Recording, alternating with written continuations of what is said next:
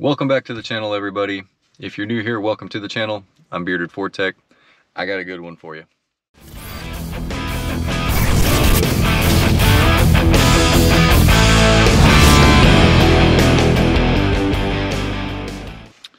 Um, I've never seen anything like this.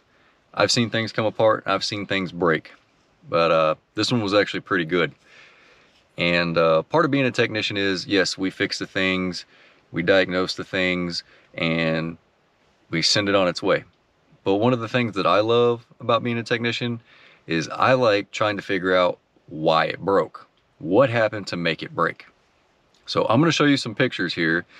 It's a 2020 F250 with the 6.2 liter gas engine. That's the same engine that's in the 2011 through 2014 uh, F-150 Raptors, okay?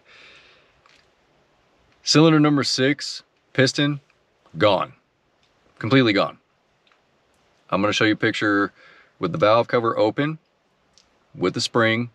I'm gonna show you the picture, and then I'll have it where it's circled, and you may have to pause the video and zoom in on it so you can see it but I'll, I'll actually show a zoomed in picture of it too right up next right up next to it and then I'm going to show you a bore scope picture down inside the cylinder where there is no piston but there is a piston rod and there is a wrist pin that is still in the piston rod. Uh, piston's nowhere to be found. So let's get into it. Here's the pictures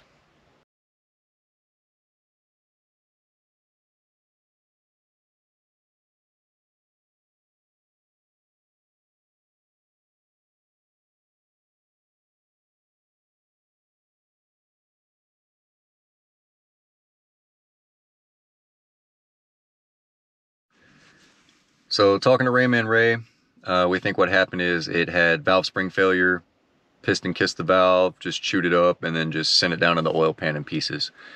That's going to be my conclusion to it. Um, is that what really happened? I don't know, but it's pretty amazing how it did happen because I've never seen anything like that. As always, I appreciate it. I love you guys. and I'll see you on the next one.